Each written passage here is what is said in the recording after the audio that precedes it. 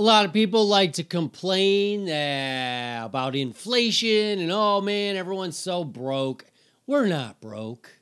We're not broke as a country. You know how I know? Because of the amount of pennies that I see on the ground every single day. There's not a day I go by I don't see a penny on the ground. And this isn't accidental. This isn't, oh, people lost their change. They were not paying attention. They were trying to, you know, do something on their phone while also holding the loose change from Chipotle and some pennies dropped out there. No, this is this is deliberate. This is people who get the penny and say, "Nope. I don't want you."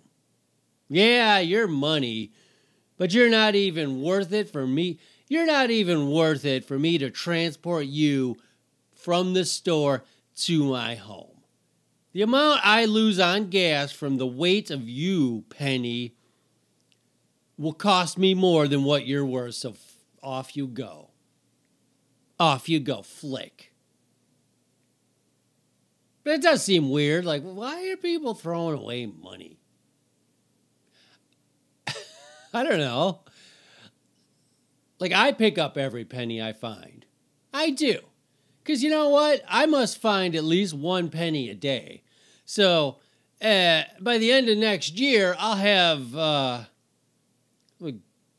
three dollars and sixty. Okay, I get it. I get now why people just throw their money away.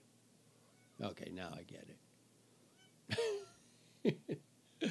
and you know, you should pick up pennies because someday they're going to be obsolete. Right now, they're worth nothing and they'll probably be worth nothing to you in your lifetime. But uh, maybe uh, generations down the road, when your great your great grandkids discover your bowl of pennies, most of which are not even recognizable as pennies anymore because they've been run over and stepped on and I think some people even just take joy out of like, I don't like you, Penny, you stupid thing, and they take a file and they just file it and then throw it on the ground.